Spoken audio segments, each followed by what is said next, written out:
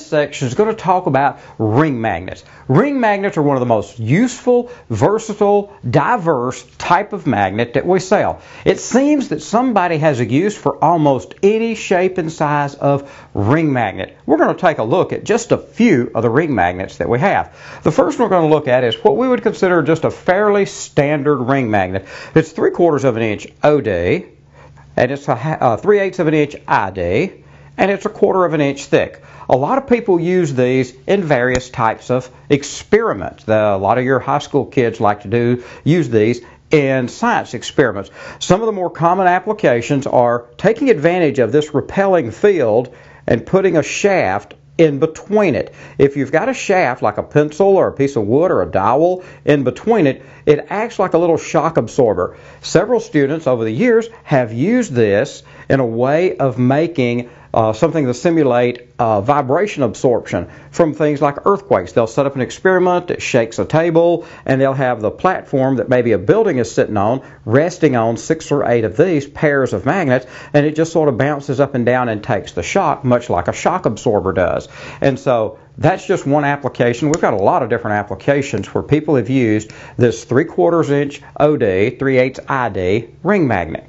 Now we're going to take a look at one that has had some really popular uses because of how super thin it is. This particular magnet is 20 millimeters, 22 millimeters OD, 10 millimeters ID, and 0.4 millimeters thick. This little stack of magnets is actually five magnets. They are about as thin as a sheet of paper. So thin you can hardly see them.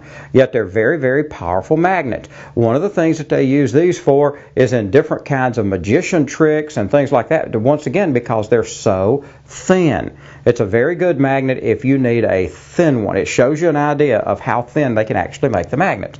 Now, one of the other things that becomes a constraint in making ring magnets is the difference between the OD and the ID. We would call that wall thickness.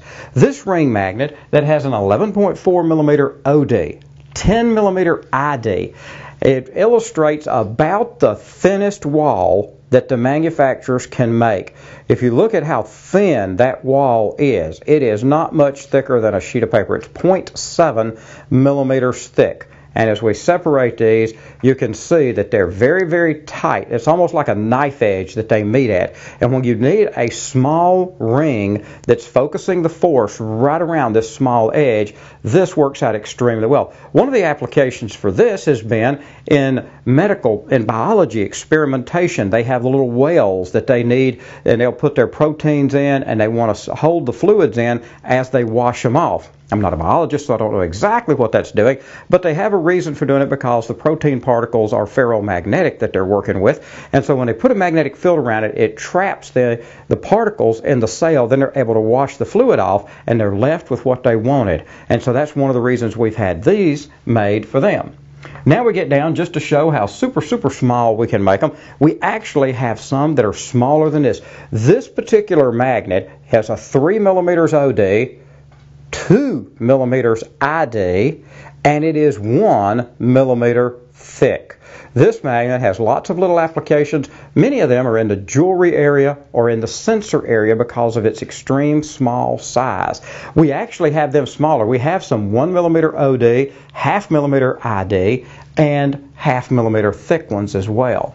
Then we get to this little bit larger magnet, and this one has the, this one's another just a size of thickness and just showing you the different kinds of magnets that we have. And if you want to look at this big one, now the big one really catches a lot of people's attention. The main people that like this are the people making windmills. One of the cool things about this with a windmill is it allows them to use two of these repelling each other and hold up the upper assembly of a, of a vertical axis windmill so that it doesn't touch here and it acts like a load bearing bearing. But the big reason for that is when you have the normal gust of wind that hit it from the side, these magnets absorb that impact so that it levels it out and it doesn't cause it to bump and, and doesn't cause it to bend a shaft and things like this. So this one has a lot of very popular uses. So the thing that you're looking for is if you're looking at a ring application, what are some ways that you can use it? Now, I wanted to tell you about the practical applications from a, a, business standpoint, commercial or industrial standpoint. But one of our most exciting applications, and we've sold just literally thousands and thousands of these, is wedding ring magnets. And I had these made years ago because magicians had asked us. They said, Can you make a magnet look like an actual wedding ring? And I was able to make one do this. I originally made it because my mother had arthritis, and it was really helpful to her to have these ring magnets on her fingers and give her something to help her fingers so she could play the piano.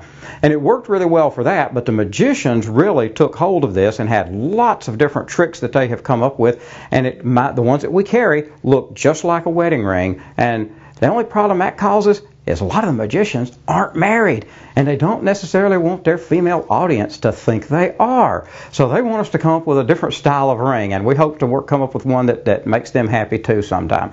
But anyway, you look at the different application that you have and see which magnet best fits your application.